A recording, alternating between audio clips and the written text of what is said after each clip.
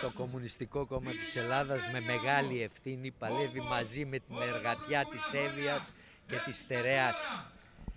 Και σήμερα μέσα από αυτή την πολύ μεγάλη συγκέντρωση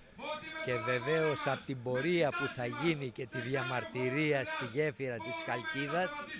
η εργατική τάξη της Στερεάς καταδικάζει την αντιλαϊκή πολιτική της κυβέρνησης της Νέας Δημοκρατίας και τον κατάπτυστο νόμο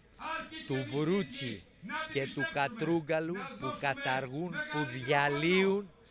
εργατικά λαϊκά δικαιώματα και ιδιωτικοποιούν την κοινωνική ασφάλιση.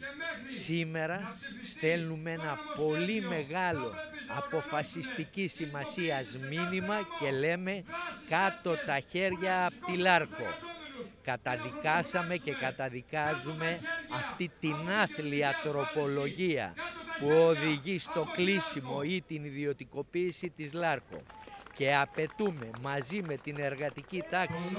της επιχείρησης, μαζί με την εργατική τάξη της χώρας μας,